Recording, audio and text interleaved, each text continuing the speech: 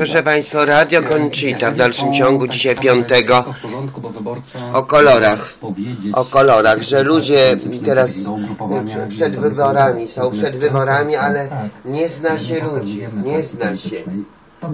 trzeba poznać, poznać. ponieważ jest taka tendencja, by uciekać od afiliacji partyjnej w wyborach samorządowych. I mamy komitety wyborcze pod nazwiskami kandydatów czy liderów list wyborczych, często wprowadzając, wprowadza to w błąd wyborcę. Wyborca tak naprawdę nie zdaje sobie z tego sprawy, że głosuje na partię polityczną. W Kielcach mamy również taką sytuację. Mamy parapartię, która e, jest dominująca e, w Kielcach, e, w Radzie Miasta Kielce. Niby nie partia polityczna, a jednak przez te lata okazało się, że jest to coś na wzór partii politycznej. Mówimy o tym pa parapartia. Ale faktycznie też jest tak, że trzeba wyróżnić się hasłem i często y, kandydaci robią to na siłę. Mamy na przykład tak, takie dość znane teraz hasło, hasło wyborcze w Kielcach, to nie widzę, to ten tutaj z tyłu. E, dosyć zabawne, e, moim zdaniem nawet kompromitujące, ale pojawia się w internecie em, osoba, która takie hasło, pod takim hasłem się podpisuje, jest coraz bardziej rozpoznawalna. Mamy też e, hasła wyborcze, które odnoszą się do nazwisk związanych z organami e, człowieka. E, dosyć e, niefortunne skojarzenie e, będę w waszych sercach, czy e, złożone w waszych sercach, czy chciałbym, żebyście byli w moim sercu. No tak, to jedzie do czubką dostaje. Z tyłu że mógłbym takich haseł 20, mógłbym z 30 takich haseł. Myślę, że na potrzeby kampanii samorządowych e, no, takie hasła e, możemy wymyślać e, co kilka sekund. Czy Pan wrażenie, że szczególnie wstępnie, które przedstawione na, na plakatach, że tutaj yy, była to raczej narada rodzinna, nie yy, jakaś koncepcja związana powiedzmy z regułami yy, sztuki marketingu politycznego? Zawsze jest tak, że musimy przeprowadzić badanie hasła, czyli zapytać się przynajmniej przyjaciół i znajomych, e, jeżeli mówimy o wyborach samorządowych do rad miast gmin, e, jak jest odbierane to hasło. Także proszę Państwa, otwieramy drzwi otwarte. Będę przyjmowała są, prysznic e, hinduski. E, no. Prysznic hinduski. Prysznic. Pan yy, przykłady Hinduski prysznic. dziwnych, yy, zabawnych, nietypowych haseł? E, One pojawiają się w internecie. W Kielcach Prysznic mamy dwa hinduski. hasła, e, czy w województwie świętokrzyskim są dwa. Można podawać przykłady chociażby z Radomia, gdzie pani półbratek e, ubrała swoją twarz w połowę bratka. Tak. Takich sytuacji jeszcze w Kielcach nie mamy, ale czekamy. Czekamy nadal. Te dwa ostatnie tygodnie kampanii będą dosyć aktywne. Prysznic hinduski, nadzieję, że, będą spotkania z wyborcami, że kandydaci wyjdą, zaczną rozmawiać, zaczną Radio dopytywać, Conchita. albo dawać em, nam konkretne jakieś propozycje, które będą e, jakby przeciwstawiały się tym problemom, z którymi mamy do czynienia tutaj w Kielcach i województwie Rozpoczęcie. Tak festiwalu, proszę państwa, tak w Radiu Obrotowym żydowskiego. Powiedzieli, że- Że jest prezes 16 fabryki wódki, że będzie niespodzianka na zakończenie, proszę Państwa. A tam nic nie było, ludzie wyszli jak struci, proszę Państwa. No bo rzeczywiście. obserwujemy kampanię w Stanach Tam nie było. Zjednoczonych, e, one wyglądają nieco inaczej. Tam raczej zwraca się uwagę na kontakt z człowiekiem, ale nie przez plakat, tylko face to face. E, W Kanadzie, którą miałem e, przyjemność obserwować ostatnią kampanię prowincjonalną w ubiegłym roku, tam plakaty schodzą nie tyle na drugi, co na dziesiąty plan. Raczej spotykają z wyborcami w tych wyborach prowincjonalnych. Chciałbym, żeby, żebyśmy doszli do tego etapu również e, w Polsce, ale kandydaci nie są tym zainteresowani. To prawda. Tym bardziej, że w Kanadzie te plakaty wyborcze, one mają też jeszcze inny wymiar, bo one mają taki wymiar, yy, powiedziałbym, społeczności lokalnych, bo one najczęściej, pojawia, najczęściej pojawiają się yy, na płotach albo w ogródkach, w ogródkach konkretnych mieszkańców. Żeby tam się pojawiły, yy, właściciel tej posesji musiał wyrazić zgodę. Jeżeli wyraził zgodę, to prawdopodobnie bliżej mu jest do tej partii czy do tej osoby niż do innych, więc to jakby zupełnie nabiera Tam jest innego- silna identyfikacja z, z reprezentantem. Reprezentant jest zidentyfikowany z określoną grupą społeczną, czy, czy z terytorium określonym. U nas tak nie jest. Wrócimy do marketingu politycznego w wydaniu samorządowym po informacjach Radio TPK. Informacje za chwilę o godzinie 12.20. Studio doktor Rafał Miernik, politolog Uniwersytet Jana Kochanowskiego w Kielcach. Wracamy po informacjach. Owczarek z Kielc. Tak, no. Nie, no, może zrobimy tylko jakieś nowe. Tak, tak, zróbmy, zróbmy cokolwiek. Klub komediowy. Klub FM.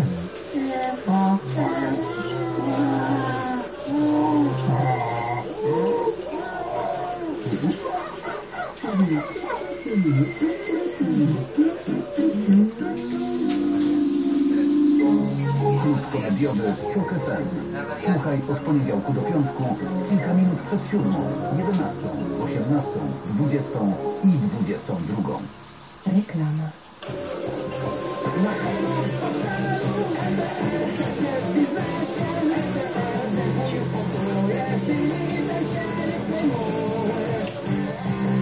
Zamiast śpiewać, po prostu powiem, że Orange zdejmuje limity internetu LTE, co? Tak, obecnym i nowym klientom. Promocja trwa do końca marca przyszłego roku. Dodatkowo w Orange nowoczesny tablet LTE Huawei MediaPad M1. Zapraszamy do salonów i na orange.pl. I niskie ceny od Lidla! Uwaga, nadchodzi okazja! Mięso mielone z szynki po 5,55 za 500 gramów idzie na sprzedaż. Do kogo powędruje mięso mielone z szynki za 5,55? Do pani? Poszło! A teraz wchodzi grejpfrut pełen witaminy C za 3,88 za kilogram. Grejpfrut za okrągłe 3,88. No i poleciał! Lidl, co tydzień coś nowego. Mięso mielone 5,55, a grejpfrut 3,88. Jeśli chcecie wiedzieć, dlaczego w dniu świętego Marcina pieczemy gęś z jabłkami, kto dał nam przepis na pyszne bułeczki dyniowe, czy umiemy zrobić domowy makaron, zajrzyjcie do listopadowej kuchni. Przy okazji sprawdzicie, co jada się na ulicach Bangkoku i jest najmodniejszym kucharzem Londynu. Czytajcie przy jedzeniu. Listopadowy numer kuchni już w kioskach. Uff, nowe auto widzę. A się sąsiadowi polepszyło. Luksus. Musiało kosztować majątek, co? Żaden majątek.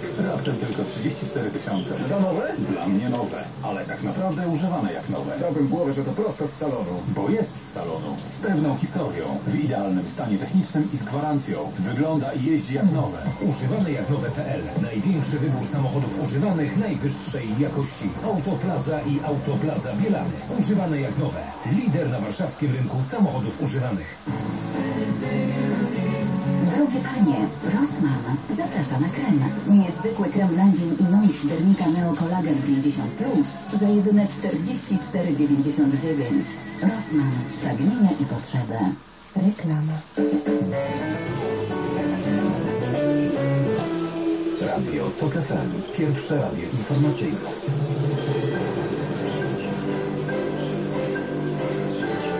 Informacje TOK FM. Minęło 12.20, a na Draganek zapraszam. Prezydent Bronisław Komorowski zatwierdził strategię bezpieczeństwa narodowego Polski, czyli najważniejszy dokument dotyczący bezpieczeństwa i obronności państwa. W dokumencie wskazano, że bezpieczeństwo Polski będzie zależało od jej zdolności do efektywnej realizacji interesów narodowych i osiągania celów strategicznych w obecnych i prognozowanych warunkach bezpieczeństwa. Strategia została przyjęta przez rząd 21 października. Po zatwierdzeniu zastąpiła poprzedni taki dokument pochodzący z 2007 roku. Komisja Nadzoru Finansowego ustanowiła Waldemara Stawskiego zarządcą komisarycznym skoku Wołomin. Ma on m.in. opracować program naprawczy tego skoku. Ta druga największa w Polsce kasa kredytowo-oszczędnościowa nie ma ostatnio dobrej pasy. Według śledczych zarządzający nią byli członkami zorganizowanej grupy przestępczej. Słuchasz informacji TOK FM. Krakowska prokuratura apelacyjna prowadząca śledztwo w sprawie zabójstwa poznańskiego dziennikarza Jarosława Dziękary jeszcze dziś wystąpi z wnioskiem o aresztowanie byłego senatora Aleksandra G. podejrzanego o podżeganie do tego zabójstwa. Ten zarzut śledczy postawili mu wczoraj. Dziennikarz zaginął 22 lata temu. Jego ciała nigdy nie odnaleziono. Dziękara pisał o aferach gospodarczych i istnieje podejrzenie, że chciał przedstawić sprawę nieuczciwych interesów Aleksandra G. W tym śledztwie popełniono wiele błędów, mówił w TOK FM Piotr Żytnicki, dziennikarz Poznańskiej Gazety Wyborczej. Jego zdaniem policjanci zajmowali się sprawą dziennikarza tak jak każdą inną związaną z zaginięciem i możliwe, że mieli ku temu swoje powody. Były przecież informacje publikowane i to nie jest tajemnicą, że Aleksander G. zajmował się tak zwanym sponsoringiem, sponsorował policję poznańską, między innymi był wtedy, działał Za afera za aferą, dużo nieuczciwości, nieprzyzwoitości, proszę Państwa, dlatego że czy to zubrzyccy, czy policjanci, oni się grupują i pieprzą głupoty. A wtedy jak człowieka napadli, to, to co? Zużytcy przybiegli po co? Po to, żeby na policję zadzwonić, że pobili pasażera, który miał bilet, oficjalnie podróżował, także jest niebezpiecznie, mogą zamordować, mogą zabić i potem jest jeszcze mataczone i po śmierci, że człowieka dupę nie wierci, a jeszcze jest mataczone. Także nieprzyzwoicie, bardzo nieprzyzwoicie. gubernatorskiej kandydaci zwyciężyli w Stanach, które dotąd były uważane za demokracji. Między innymi z Maryland rodziny Illinois prezydenta Baracka Obamy. To jeszcze jest malo powiedziane. Dziś w całej Polsce sporo słońca i poważne deszczu na mało. temperaturze od 10 stopni w Gdańsku przez 14-15 stopni w Szczecinie, Warszawie, Toruniu i Rzeszowie do maksymalnie 17 we Wrocławiu, Katowicach i Krakowie. Radio TOK FM. Pierwsze radio informacyjne. Mało, że nieprzyzwoicie. Po prostu przestępstwo. Po prostu, proszę Państwa, przestępstwo jest to.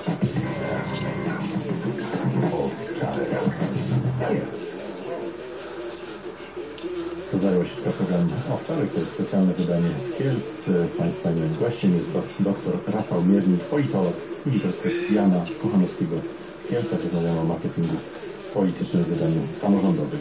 Zatrzymajmy się jeszcze przez chwilę przy tych e, plakatach e, kandydatów. Mm, Co jest ważne dla potencjalnych, dla wyborców, jeżeli patrzą na te plakaty. E, No bo na plakatach mamy zawarte pewne informacje dotyczące właśnie afiliacji politycznych. Przestępstwo. Jedno, drugie, trzecie, czwarte. albo że kontynuacja, pełno jest nowe, stare, przestępstw. Mamy Proszę osobę państwa. e, kandydata, mm, czyli Po 20 właśnie ten kandydat się latach prezentuje zobaczą. gorzej.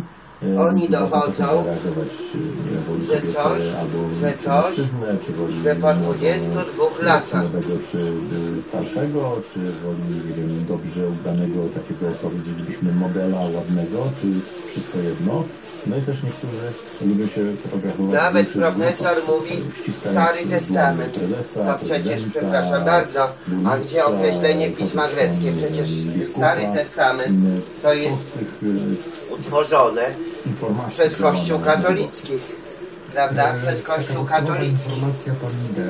No to czy my mamy się trzymać Kościoła katolickiego?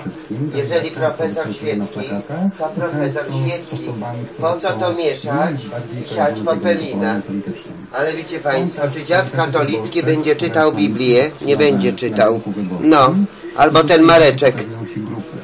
Wczoraj idę tam, stamtąd, Figańskiej, a on już dzwoni, że tam, że Elżbieta będzie na bankiecie z nim jutro. Jak to nie chodzi o bankiet, tylko chodzi o rozdanie nagród. Chodzi o rzeczy ważne, ale chodzi o to, że on dzwoni już tu po Jankach, po tych, tych, po wszystkich tych ludziach. Tak jak to stary dziad robi popelinę, proszę Państwa. Nie umie e, bez plotek się obejść, nie umie się skupić na temacie, tak jak to po żydowsku. Niech nie wie lewica, co czyni prawica. No to przecież czy katolik może to zrozumieć, co jest napisane w Biblii? Nie. No bo Biblii nie czytają, Biblii nie znają. I to, co jest w Biblii, do nich, do Łotra, nie dotrze. Niech nie wie lewica, co czyni prawica. Już dzwoni po wszystkich tu, tu. to, czego kandydaci nie zauważają w tych takie. nie zwracają uwagi na ten najbliższy ogródek, na najbliższe otoczenie wyborcy. Cygan taki wyborach jest. samorządowych jest zainteresowany Nie umie zrozumieć tych takich żydowskich tych, a tu się podstawia, podszywa się. Co może cygan zrobić, jak on nie rozumie Biblii? Ale nie dostaje tego, co zmieni się w jego a to stary, a to nowy, tam nie ma nic starego, nie ma Tak nic nowego. W starym są proroctwa wypowiedziane, które jeszcze się wcale nawet nie sprawdziły. A w nowym jest też sięganie do dzielnicy. staroci. Znaczy o tym nie mówimy, w gruncie Proszę rzeczy, a państwa, chcielibyśmy to usłyszeć. I jak rozmawiam e, z Hebrajskie. wyborcami, również ze studentami, to oni zwracają na to szczególną uwagę. Także Biblia jest to koherentnie powiązana, tam nie ma nic starego, nie ma nic nowego, dotyczące ale że on jest pod wpływem Kościoła katolickiego. Chodzi może jeszcze na mszy albo chodził i mówi stary, to No taki profesor to o wiedźmach, o czarownicach. Proszę mówić e, pisma hebrajskie i pisma greckie. Taki jest, taki jest podział. Właśnie o tym ich em, najbliższym otoczeniu. Zamierza przecież? Biblia się nie dzieli, tak?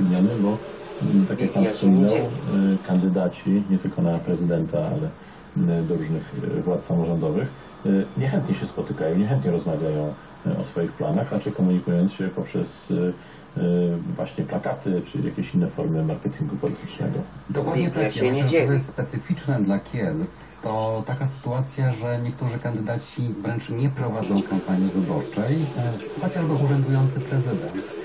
Dla niego z punktu widzenia poparcia nieprowadzenie kampanii jest czymś, co przynosi mu jednak głos. Te kłótnie pomiędzy resztą kandydatów raczej zniechęcają wyborców niż zachęcają do głosowania. Druga e, kwestia jest taka, że E, Mimo tego, że mamy narzędzia marketingowe, często kandydaci ich nie wykorzystują ze względu na obawy właśnie kontaktu, e, kontaktu z osobami, a marketing polityczny mówi, że im więcej dłoni uściśniesz, tym więcej masz głosów. Średnio trzy takie uściski dłoni to jest jeden głos. Nie wiem dlaczego się obawiają, być może dlatego, że są to programy często pisane na kolanie tuż przed wyborami i nie pokazują nam e, jakby realnych działań, które będą podjęte. One są zbyt ogólnikowe. A wyborca może zapytać o szczegół.